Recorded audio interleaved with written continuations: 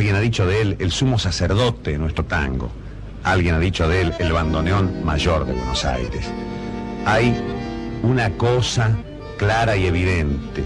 Todos recordamos aquella vieja milonga que al hablar de Gardel dice, Carlitos Gardel añoso, con el cabello canoso, pero tenerte, tenerte. Nosotros, con el cabello canoso, a Aníbal Troilo lo tenemos. Aníbal Troilo nació el 11 de julio de 1914 en el barrio de Almagro. Llamado El Pichuco por su padre, inspirado por uno de sus amigos. Se llamaba a Troilo también el Gordo, el Grande.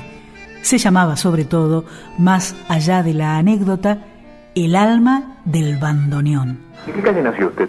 En la calle Cabrera, entre La Prida y el Chorena. ¿Cómo era esa calle? Sigue estando la casa todavía. Es una casa vieja, por supuesto, y, el barrio es un barrio viejo también. Pero ahí vivimos hasta que yo tenía un año y nos mudamos a una cuadra, a Soler y Gallo. Pichuco es un músico precoz que comienza su carrera de bandoneonista a la edad de 11 años y esto le permite trabajar con los mayores creadores de Guardia Vieja, entre otras cosas Juan Maglio Pacho en 1929, antes de unirse los Julio de Caro y Juan Carlos Cobian en 1930. Él integra un sexteto histórico con Osvaldo Pugliese al piano, con Elvino Bardaro, con Alfredo Gobi en los violines. No hay desgraciadamente ningún registro de esa aventura.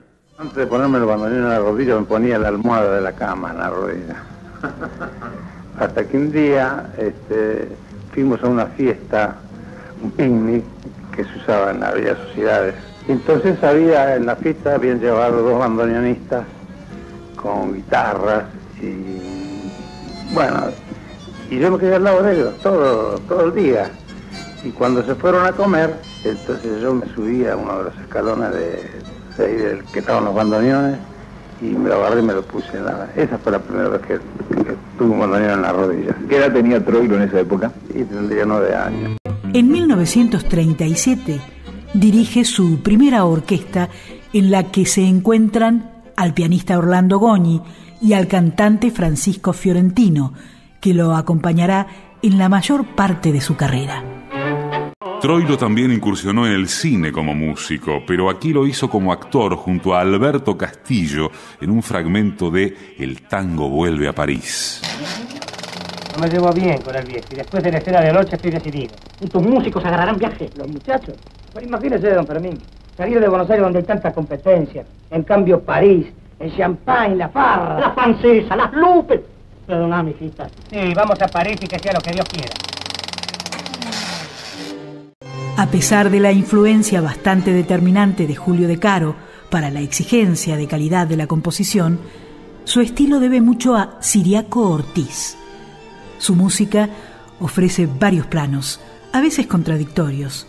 Por una parte, un ritmo rápido adaptado a la danza, por la otra, su juego más introvertido en el toque del bandoneón.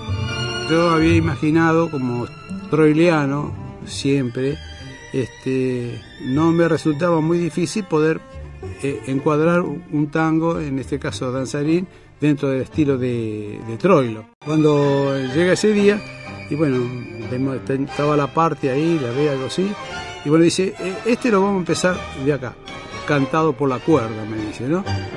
Así que tuve que rehacer todo eso y bueno, algo que yo tenía pensado ya hacer como por ejemplo la parte donde canta el bandoneón.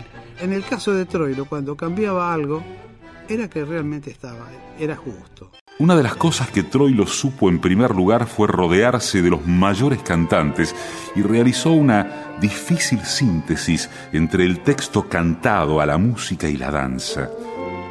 Troilo fue un melodista extraordinario, talentoso para la composición, como lo demuestra en obras de su autoría para letras de Homero Mansi.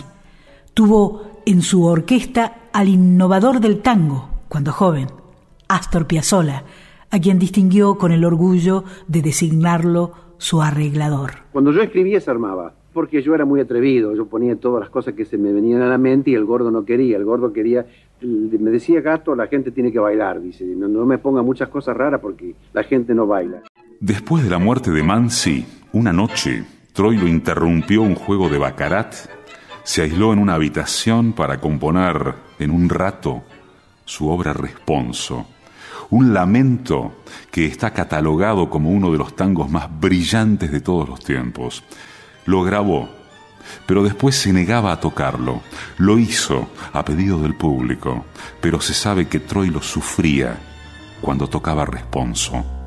Donde esté tu malena doliente con su antigua hojarasca de abril, ya tu voz sin rumor se presiente con angustia de un viejo violín. Eso leyó Troy y me dijo, ¿quién escribió esto?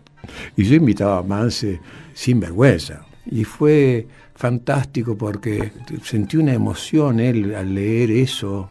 No, hubo una atracción amistosa y de comprensión de él sobre todo hacia mí porque era un chico y, y él era el ídolo, era un ídolo arrebatado por multitudes, ¿no? Era impresionante. La gente no bailaba donde tocaba todo, pensaba que era una orquesta muy bailable, y se, se agolpaba como en el Colón, todos a escuchar la orquesta y a escuchar los solos de violín, los solos de piano y las variaciones de bandoneón y, y cómo cantaba la orquesta, porque Troilo hacía cantar la orquesta, ¿no? Troilo cerraba sus ojos cuando tocaba, pero no podía explicar el motivo.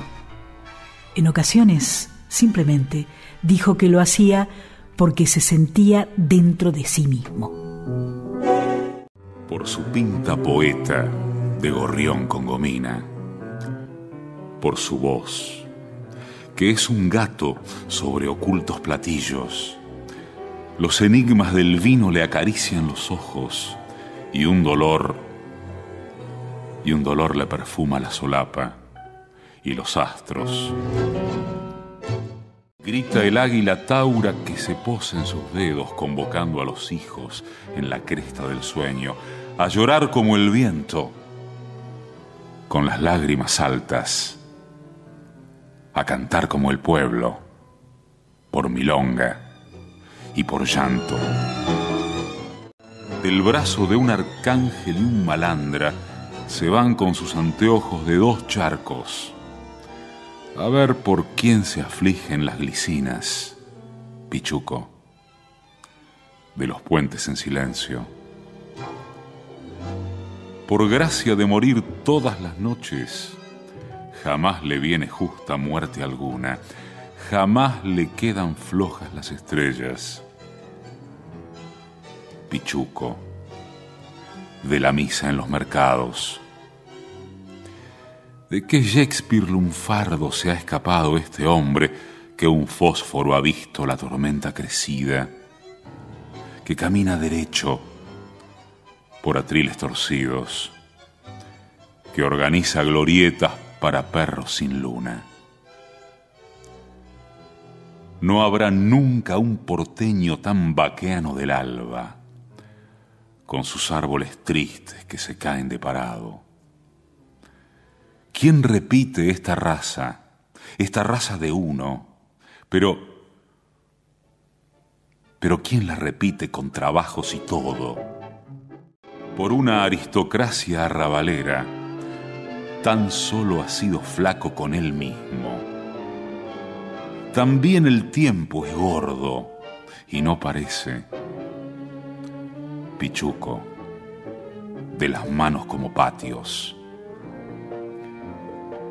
Y ahora que las aguas van más calmas y adentro de su fuelle cantan pibes, recuerde y sueñe y viva, gordo lindo, amado por nosotros,